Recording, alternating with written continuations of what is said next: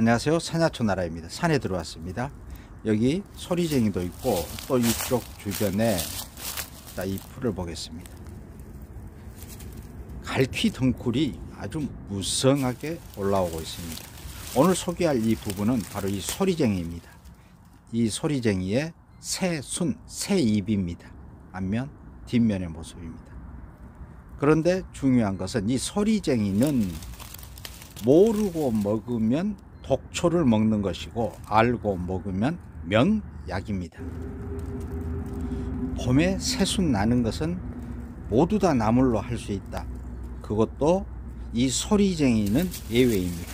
이 소리쟁이는 새로 올라온 새순, 이 새 잎에도 초산이라고 하는 독성을 함유하고 있습니다.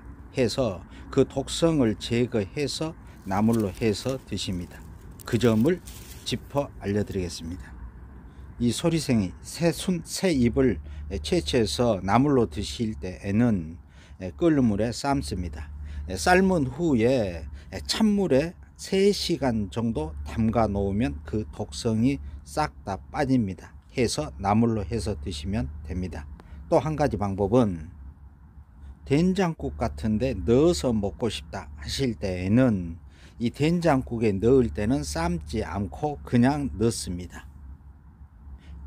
끓이면은 이 물에 중화가 되어 버려서 이 초산이라고 하는 독성이 사라집니다. 해서 된장국에 넣을 때는 깨끗이 씻어서 그냥 넣어서 드시면 됩니다.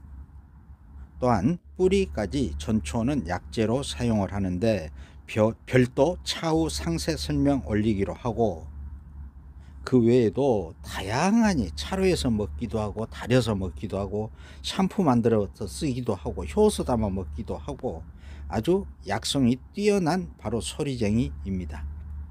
이 소리쟁이는 그 약성 효능이 좋아서 예, 암 예방이라든가 각종 항암 치료에 효과가 있습니다. 또 탈모 방지나 당뇨, 피부병에도 특효입니다. 그 외에도 변비라든가 예, 감기, 또 폐결핵, 또 각종 염증 치료에도 좋고 이걸 섭취하면 살결도 고와진다고 했습니다. 이 소리쟁이는 약성은 좋은 방면에 유의할 점이 있습니다. 바로 그 점은 장기 복용은 하지 않는 게 좋고 과다 복용을 하지 않는 게 좋습니다. 초산이라는 약간의 독성 물질이 있기 때문에 이 점 중독 현상이 일어날 수 있기 때문에 주의를 요합니다. 또 비위가 허하고 설사가 심한 분은 섭취하지 않는 게 좋습니다.